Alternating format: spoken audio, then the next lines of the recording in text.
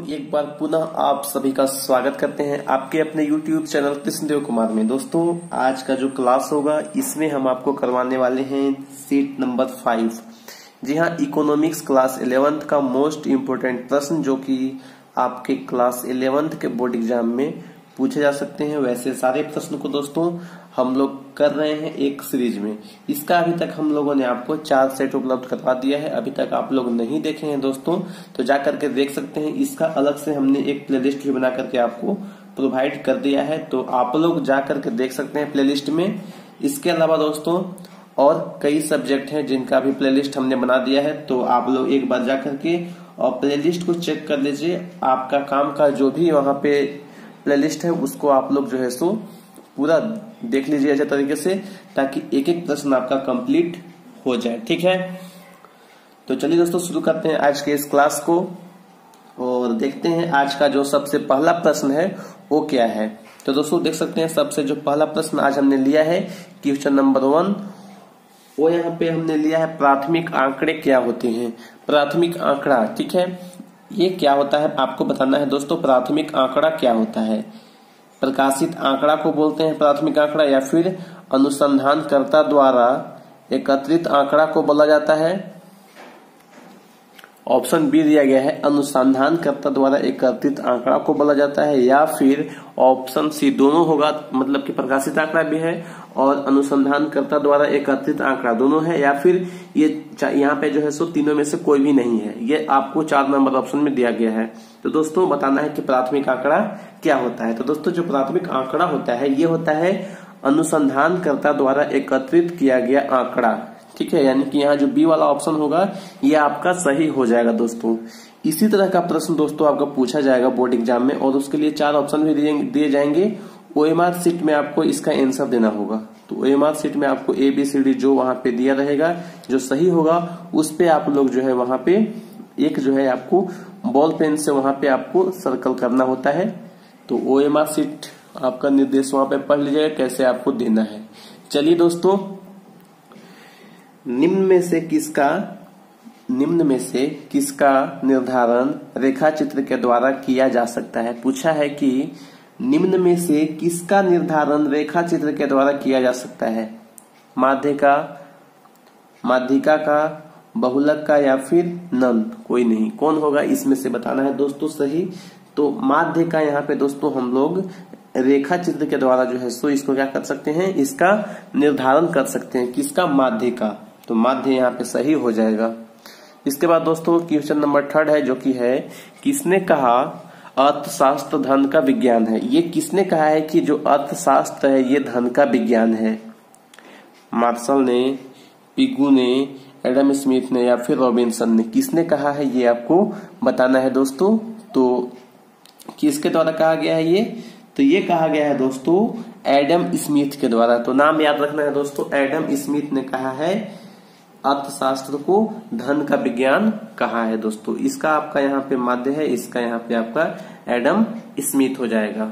और one number का तो आपका ये वाला था, अनुसंधान अनुसंधानकर्ता द्वारा एकत्रित आंकड़ा। तो ये तीनों का यहाँ पे हो चुका है दोस्तों। अब हम लोग आगे बढ़ेंगे और देखेंगे क्वेश्चन नंबर फोर में क्या है, ठीक है? दोस्तों, यहाँ पे आप लोग देख सकते हैं क्वेश्चन नंबर फोर, जो कि दिया गया है, भारत में आर्थिक सुधारों का प्रारंभ किया गया। भारत में पूछा है कि आर्थिक सुधारों का प्रारंभ कब किया गया? 1971 में, इक्यानवे में, या फिर 2001 में, या उन्नीस सौ इक्यासी में? कब किया गया, ये आपको बताना है दोस्तों। आर्थिक सुधारों का प्रारंभ कब हुआ?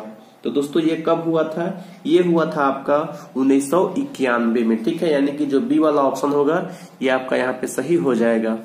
इसके बाद दोस्तों देखिए क्वेश्चन नंबर यहाँ पे फाइव जो कि है, जैविक कृषि खाली स्थान एक खेती है। किस प्रकार का खेती है? जैविक कृषि पारंपरिक है, धारणीय है, विविधीकृत है या फिर रासायनिक है?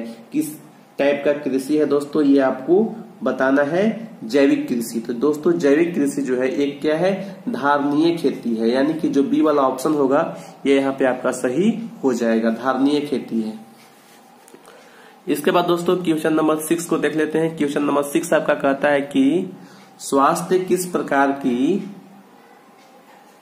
आधारित संरचना का अंग है? स्वास्थ्य पूछा है कि किस प्रकार की आधारित संरचना का अंग है? पहला ऑप्शन दिया गया है, वो है आर्थिक, बी है सामाजिक, ऑप्शन सी दिया गया है ए और बी दोनों, और ऑप्शन डी है इनमें से कोई भी नहीं। नन ऑफ़ दीज तो दोस्तों क्वेश्चन नंबर सिक्स का आंसर जो होगा, ये होगा आपका सामाजिक।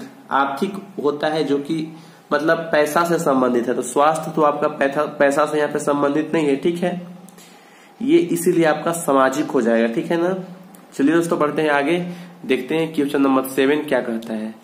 क्वेश्चन नंबर सेवन कहता है कि कृषि क्रियाएँ किस क्षेत्र से संबंधित है? पूछा है कि जो कृषि क्रियाएँ हैं, ये किस क्षेत्र से संबंधित है? प्राथमिक, द्वितीयक तृतीयक या ये तीनों से उपयुक्त सभी होगा। कौन होगा बताना है दोस्तों? इसका आंसर तो इसका जो आंसर हो जाएगा, वो हो जाएगा आपका प्राथमिक। कृषि जो संबंधित है, वो किससे है प्राथमिक? दोस्तों, हमने पीछे आपको समझाया भी था टेंथ क्लास का। पहले जो हमने किया था ना, जो कि एस एस टी पढ़ा था एस एस टी में आपको हमने ये समझा दिया था। एस एस टी में ही इकोनॉमिक्स था क्लास टेंथ में। तो आप लोग पिछला वीडियो को देखे होइएगा तो आपको जो है आसानी से समझ में आ जाएगा प्राथमिक क्या है। द्वितीय क्षेत्र क्या है और तृतीय क्या है? तृतीय को हम लोग सेवा क्षेत्र भी बोलते हैं और द्वितीय जो होता है, ये होता है जिसमें कि आपका क्या होता है, जहाँ पे उद्योग ये सब होता है, ये सब द्वितीय में आ जाता है। उद्योग धंधे, ये सब द्वितीय का है, प्राथमिक में एग्रीकल्चर मत्स्य पालन, ये सभी चीज़ें जो है प्राथमिक क्षेत्र के अंतर्गत आते हैं। इसके बाद क्वेश्चन नंबर जो एट है, ये है मानवीय साधनों के विकास। के लिए आवश्यकता है। मानवीय साधनों के विकास के लिए आवश्यकता है। क्या आवश्यकता है? नैतिकता, अनुशासन, सच्चाई या फिर शिक्षा। चारों में से बताना है कि कौन सा सही हो जाएगा दोस्तों। तो दोस्तों, यहाँ पे क्वेश्चन नंबर एट का जो सही आंसर हो जाएगा, वो हो जाएगा आपका शिक्षा यानी कि एजुकेशन एट नंबर आपका यहाँ पे सही होगा, इसलिए आपको टिक करना है एट नंबर यानी कि एजुकेशन को। नाइन नंबर प्रश्न की बात करेंगे, जो कि दिया गया है, भारत की पहली औद्योगिक नीति किस वर्ष घोषित हुई? बताना है दोस्तों कि भारत की जो पहली औद्योगिक नीति है, ये किस वर्ष घोषित हुई थी? उन्नीस सौ उनचास में हुआ था, या फिर छप्पन में? या दोस्तों, आपका ये उन्नीस सौ इक्यानवे में हुआ था, या फिर उन्नीस सौ अड़तालीस में हुआ था? ये चार ऑप्शन यहाँ पे दिया गया है, चारों में से जो सही होगा, वो होगा आपका दी वाला ऑप्शन यानी कि आज़ादी के बाद जो है सो भारत की जो पहली औद्योगिक नीति का जो घोषणा हुआ था, ये आज़ादी के जस्ट बाद कब हुआ था? उन्नीस सौ अड़तालीस ईस्वी में हुआ था। इसके बाद दोस्तों, एक और प्रश्न है जो कि देख लेते हैं उसको भी।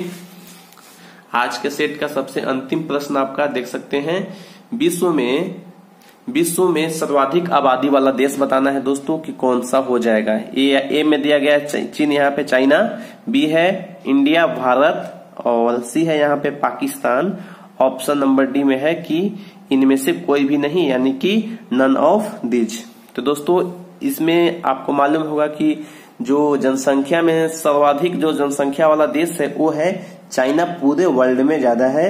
और दोस्तों ऐसा कहा जा रहा है कि आने वाले समय में मतलब कि पाँच से दस साल में जो इंडिया होगा, वो नंबर वन पे हो जाएगा। तो ये एक चिंता का विषय है दोस्तों। अभी भी जनसंख्या में जो इंडिया है, ये सेकेंड स्थान पे है, ठीक है? सेकेंड पे है ये, फ़र्स्ट पे आपका चाइना है। और आने वाले समय में जो है, सो हो सकता है कि इंडिया फ़र्स्ट पे आ जाए। तो यह जो है, सो एक सोचनीय विषय है और इसके लिए जो है सो, पहले से ज़्यादा जो है सो, अभी जागरूकता भी फैलाया जा रहा है और कई कार्यक्रम भी जो है सो, इस संबंध में चलाए गए हैं। तो दोस्तों, आज का जो यहाँ पे क्लास था, इसमें जो है सो, हमने 10 इम्पोर्टेंट जो प्रश्न था, उसको कंप्लीट कर लिया है दोस्तों। इसके बाद साथियों, कुछ नेक्स्ट प्रश्न, कुछ और जो प्रश्न इम्पोर्टेंट रह गए हैं, उसके साथ हम लोग मिलेंगे नेक्स्ट की क्लास में। और वहाँ पे हम लोग डिस्कस करेंगे दस और इम्पोर्टेंट प्रश्न और वो होगा आपका सेट नंबर सिक्स तो सेट नंबर फाइव आज जो है सो आपका यहाँ पे कंप्लीट हो चुका है और हमने पचास महत्वपूर्ण प्रश्न कंप्लीट कर लिया है। दोस्तों नेक्स्ट क्लास में हम आपको मीन मीडियन और मोड ये सब निकालना भी सिखाएँगे।